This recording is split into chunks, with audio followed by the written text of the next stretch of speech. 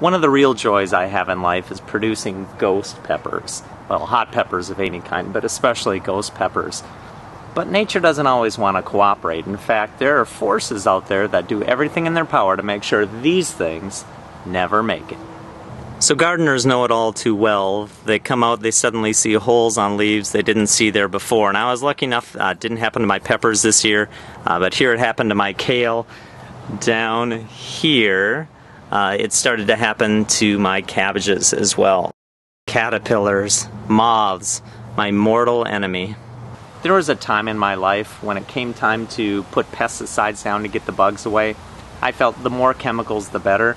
But then when I realized I actually had to eat this stuff, I realized I had to go organic. So I have two, tra- uh, two tools of the trade that I use personally to keep the bugs off the peppers. Uh, the first one, and this is the obsessive compulsive disorder part of my personality, is this thing. Uh, I will wake up on the hour if I need to all night long, and I'll pick little moth larvae off those leaves uh, one at a time, lift a leaf, find them, pull them off. Lift a leaf, find them, pull them off. And I do it like clockwork 1 o'clock, 2 o'clock, 3 o'clock in the morning. It's a sickness. But, but you can't be there all the time. You can't protect them all the time. So what do you do then? This.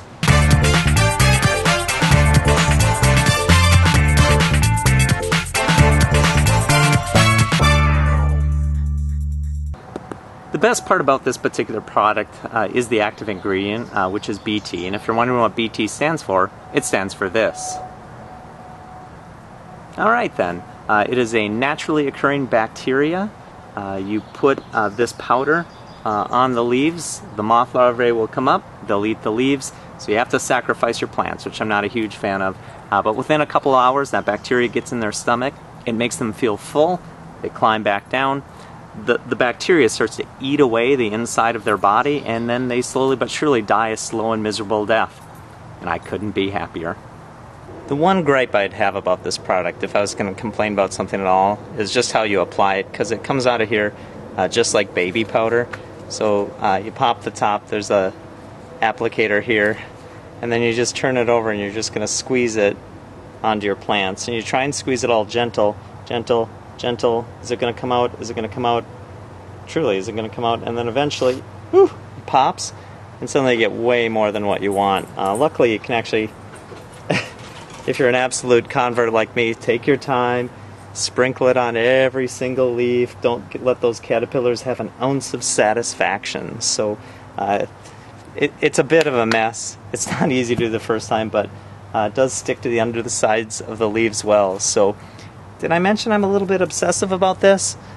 But you got to do it right. Uh, and then you just got a big old BT mess at the end. But you can't lose your peppers, or kale in this case. I was able to buy this uh, for about I think it was about seven or eight dollars, which uh, for the size of it, it's maybe not the cheapest thing, but any of the organic products aren't. Uh, but actually, I, I used it all of last year. I was able to use it this year. seemed seemed to work just fine. Um, it breaks down quickly in the water. It breaks down in heat, so uh, it has a very short lifespan. Uh, I think it's 24 or 48 hours. Uh, but usually by that time, the caterpillars uh, they've eaten what they needed to, and they're on their way out of here. So I think last year I had to apply it a couple times before I got rid of them, but between this, whoops, between this and the tweezers, I was able to get them and actually saved maybe 15 plants uh, from what would have been utter destruction.